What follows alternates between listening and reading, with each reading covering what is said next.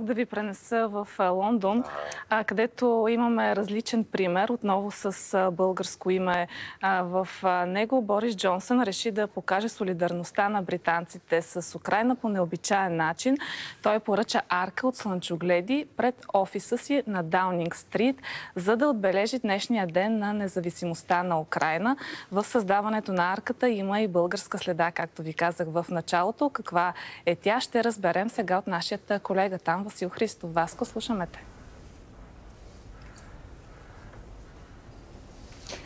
Добро утро от Лондон. Българката Ваня Иванова е менеджер на една от най-известните компании за цветя в Лондон и флорален дизайнер там.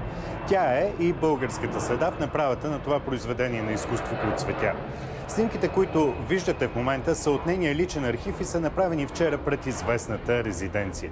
Специално за BTV Ваня сподели, че за направата на арката са използвани 800 слънчогледа от три вида в различни нюанси на жълтото и сини хортензии.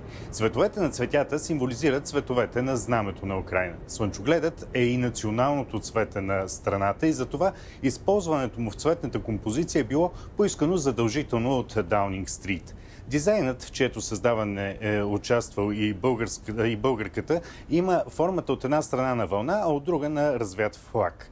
Премьерът Джонсън, който е поздравил екипа на прави цветната композиция, е твърд в подкрепата си за Украина от началото на инвазията, точно преди 6 месеца.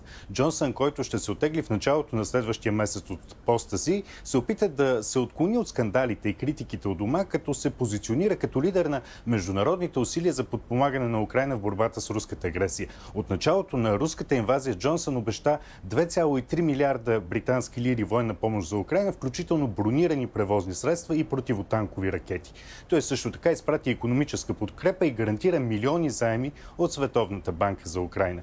А звания ще ви срещнем в BTV новините в 19 часа. Васко, благодаря ти за тази интересна история и тази интересна цветна композиция при теб.